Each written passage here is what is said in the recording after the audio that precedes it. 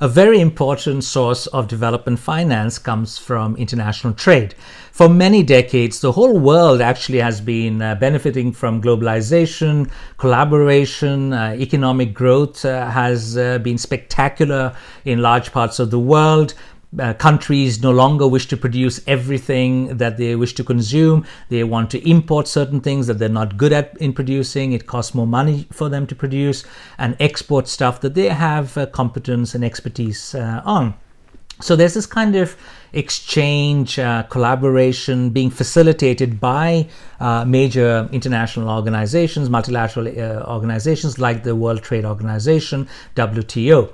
But in recent years, there's been much more of this concern on how international trade is playing out.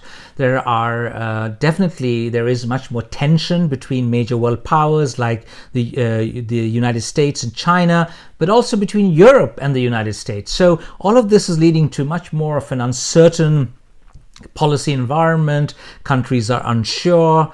They're worried that the uh, the goods they produce are not fetching high enough uh, prices in the international market. They're afraid of uh, protectionist policies that other countries are implementing that makes exports much more expensive. Uh, the U.S. has often um, increased tariffs on certain imports, which affects the kind of exports that China sends uh, to the U.S. So all of this is creating tension, uncertainty, and how this will play out in the near future is going to be extremely important in terms of making financing available uh, for the SDGs. Uh, and related to this aspect is the fact that trade or this kind of uncertainty is not just affecting low income countries, it's also affecting high income countries. And my own country, Norway, is a very good example in this context. So, Norway, uh, a lot of Norway's income is uh, dependent on oil. And with the uh, collapse of the oil market. The demand for oil has just dropped dramatically. It has been for, for a while, but now more so during the pandemic uh, that we're currently facing. Um, Norway has to actually figure out new sources of revenue, new forms of uh, perhaps investment in other arenas so that in the future, the money that uh, that uh, Norway will be able to earn is not just dependent on oil.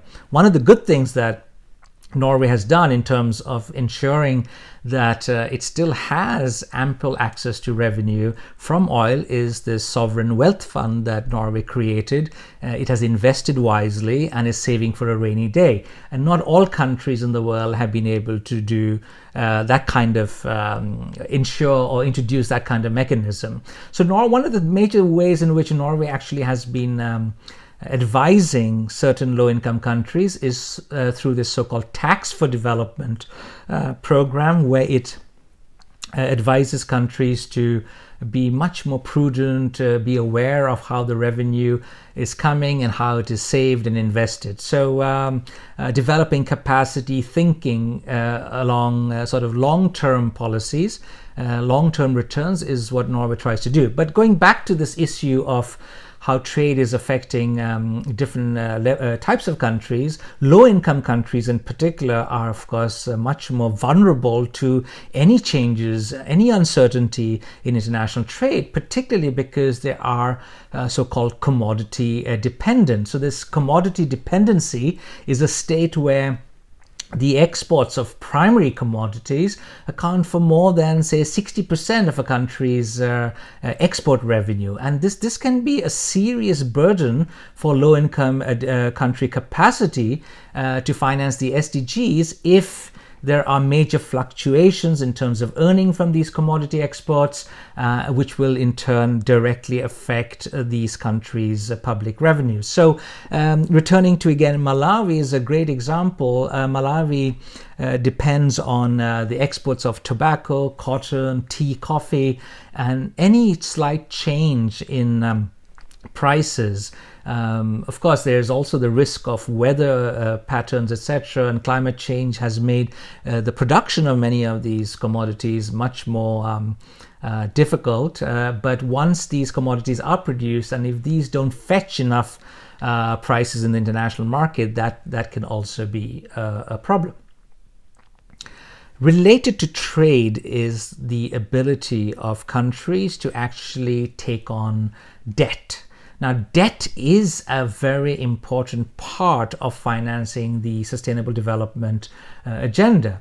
Uh, why is it important? Well, it's because SDG investments, at least many of the SDG investments, can generate the resources to repay the debt. So many international reports are actually finding that uh, and encouraging countries and private sector actors to invest in the SDGs for example, in health or education, in, in terms of poverty reduction, uh, in terms of food, that the returns are actually very, very high. So this can be a very profitable enterprise. But countries often don't have the resources and they have to borrow, and they often have to borrow heavily, or uh, the interest rates are so high that they're unable to repay their debts. Some of these countries who need financing are already in debt. So the extent to which one can um, come out of this debt crisis, this uh, this spiral that leads to even more indebtedness, is is going to be crucial uh, in in in the years ahead. And uh, the IMF, for example, has estimated that um, investments in the SDGs, particularly in, in areas that uh, require much more public spending, such as education, health, roads, electricity, water, and sanitation, would require an, an, an additional annual spending of about 15 percentage points of GDP in the poorest countries. The extent to which countries, therefore, have access to loans and the, the way in which these loans are designed, the way in which these have to be repaid in the future, the kind of interest, the conditionalities, all of this is uh, going to be crucial. Some civil society activists believe that uh, major institutions like the IMF are simply not doing enough, uh, that they're talking a lot about the SDGs, but they're basically um, using the same kind of uh, programs, mechanisms to fund, to provide uh, loans to poor countries that they were doing before. And the need of the hour is to make sure that any access to uh, additional loans, etc., for the SDGs are perhaps redesigned, uh, keeping the best interests of these poor countries in mind. So, borrowing is an important tool and is very critical for achieving sustainable development, but it has to be done and managed prudently. And debt sustainability is going to be crucial in the years ahead.